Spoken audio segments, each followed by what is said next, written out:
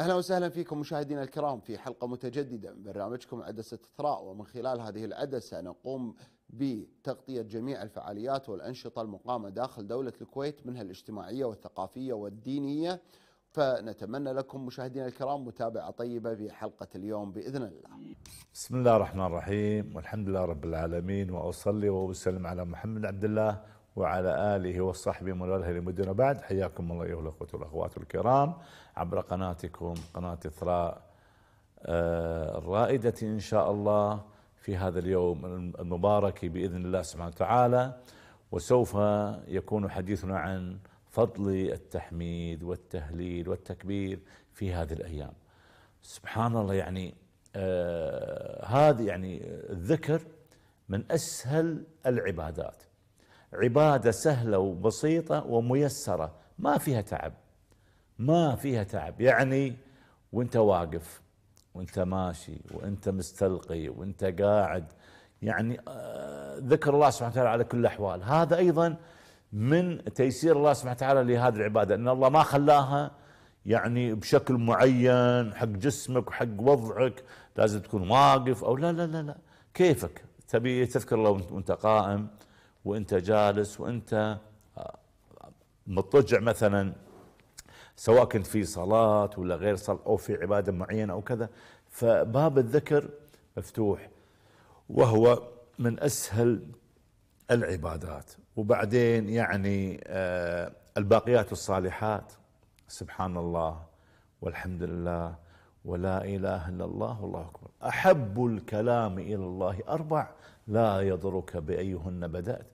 يعني أحب الكلام إلى الله الكلام اللي الله يحبه شنو؟ سبحان الله والحمد لله ولا إله إلا الله والله أكبر. زين أنا يعني الحمد لله خلينا نقول ربيت نفسي عودت نفسي على هذا الذكر وعلى هذه الأوراد من الذكر. بين الفينة والأخرى وحسب ما أنا يعني آه، سياستي مع نفسي وطريقتي مع نفسي بالذكر. كل واحد ترى فينا له طريقة خاصة. أدري أنا مو مثلك أنت مو مثلي أنت أحسن مني أنا أحسن منك ما, ما ندري. هذه عبادة بينك وبين الله سبحانه وتعالى. ترى ما حد مطلع عليها الذكر الحلو فيه أن عبادة خاصة بين العبد وربه. لا يعني أنا شراك أنا شراني أنك قاعد تسبح مثلا باليوم آلاف آه، تسبيحات أو تحمد الله مثلا آلاف المرات. أنا دراني يمكن واحد يسبح عشرة مية يكتفي واحد يسبح مثلا ألف وكذا. فأنا أقصد كل واحد هذا باب مفتوح شد حيلك حبيبي. أه، كيفك؟ أنت وهمتك أنت ونشاطك وطاقتك. فاقتنص الفرص. زين. العمل ما من أيام العمل الصالح فيهن أحب إلى الله سبحانه وتعالى من هذه الأيام. يلا. يعني قلنا هالعشر أيام هذه أشد حيلي بموضوع الذكر. يعني أنا أحط لي ما أنسى وردي من التسبيح والتحميد والتهليل والتكبير. خلاص يعني أحرص. طبعا خلينا إحنا مثلا خلينا نقول دبر الصلوات. كنا الحمد لله قاعد نصلي الفرض. زين أنت بعد الصلاة قاعد تسبح 33 وتحمد الله 33 وتكبر 33 هذا يعني صلاة المفروضات هذه خمس صلوات قاعد تقول هالذكر بعد صلاة زين ماشي. زين وأنت مثلا ماشي ولا جالس ولا كذا قاعد تقول الحين ودي أقول لا إله إلا الله وحده لا شريك له له الملك وله الحمد وهو على كل شيء قدير. بقول مئة مرة الله يعني آه كأنك اعتقت عشر رقاب يعني آه تأخذ أجر عظيم. من هذا التهليل أو التحميد أو التكبير.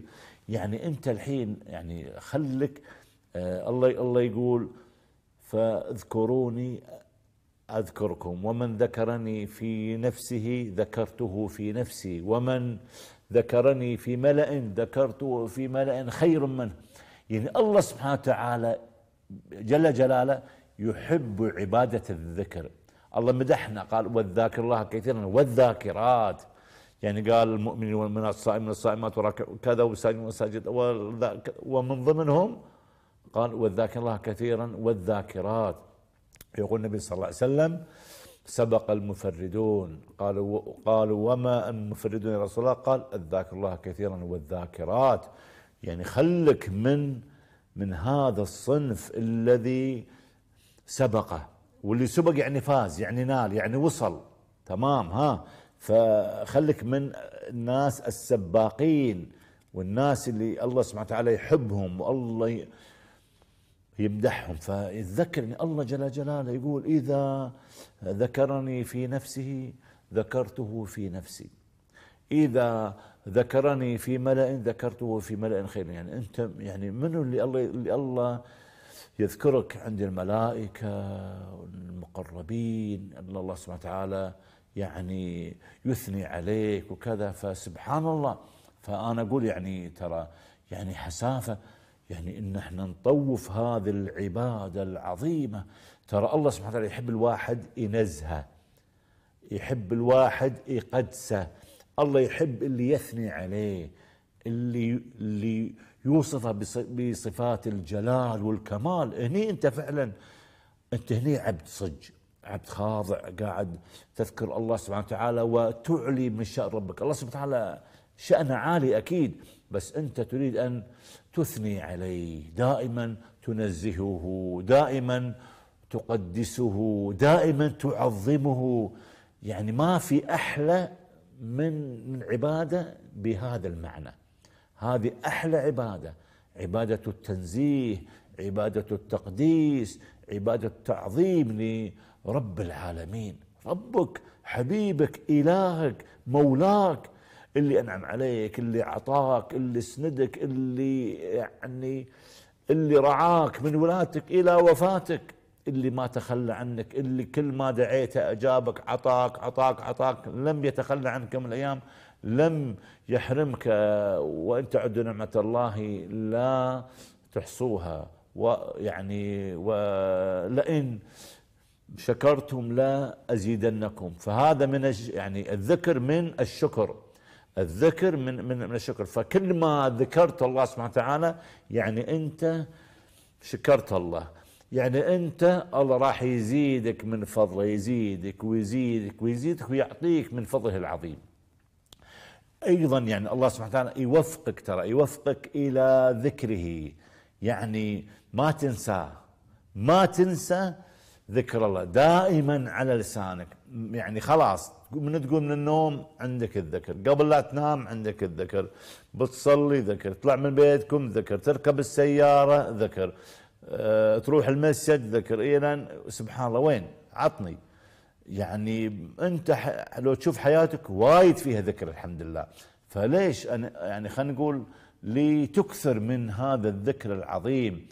و يعني شوف سبحان الله يعني فرحة العبد في في في هذه الأيام المباركات اللي هو أن يكون يعني يختم القرآن يعني هذا الذكر العظيم التسبيح والتحميد والتهليل والتكبير صح ذكر تمام وطيب وايد طيب.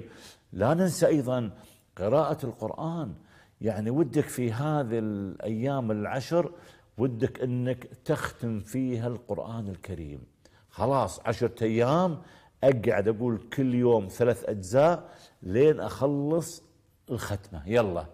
فهذا يعني عشان الله سبحانه يحبنا عشان الله سبحانه وتعالى يعني يرضى علينا فنكثر من ذكره وأعظم الذكر لا إله إلا الله وأيضا أعظم الذكر اللي هو القرآن الكريم.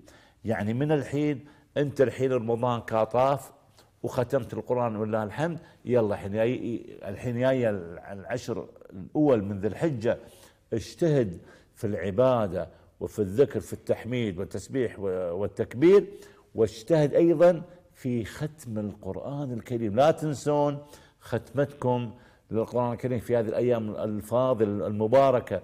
ترى والله العظيم تقدرون وسهالة ورتب نفسك وتقدر أنت مثلا لو حتى لو تبحث في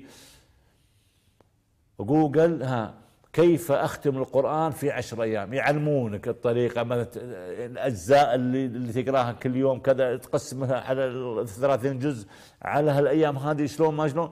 تحط لك أنت خطة وبرنامج وتمشي عليه لين تختم القرآن الكريم. إذا لا طوفكم أيضا ختمة القرآن في هذه الأيام المباركات. فإذا نحن الرابحون نحن الفائزون. ذاكر الله كثيرا والذاكرات. والمقربون من رب العالمين. وفقنا الله وإياكم لكل خير الله وإياكم عن كل شر. صرنا نكون من المسبحين الحامدين المكبرين والتالين لكتابه الكريم. ويعطيكم العافية وجزاكم الله خير. إلى هنا نصل وإياكم مشاهدينا الكرام. إلى ختام حلقتنا لهذا اليوم. نلتقيكم غدا إن شاء الله في نفس الموعد. لكم من أجمل تحية ومع السلامة.